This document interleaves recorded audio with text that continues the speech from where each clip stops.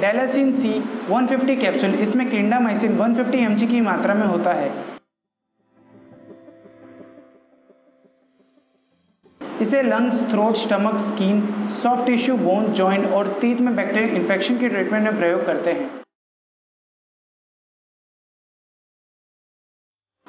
Clindamycin antibiotic drug है। ये bacteria के एसेंशियल प्रोटीन के सिंथेसिस को रोकता है, जो कि उसके वाइटल फ़ंक्शंस के लिए ज़रूरी होता है। इसे डॉक्टर के बताए अनुसार डोज में और ड्यूरेशन तक लें। इसे खाने से पहले और खाने के बाद कभी भी ले सकते हैं, लेकिन इसे एक फिक्स टाइम पर ही लें। Thank you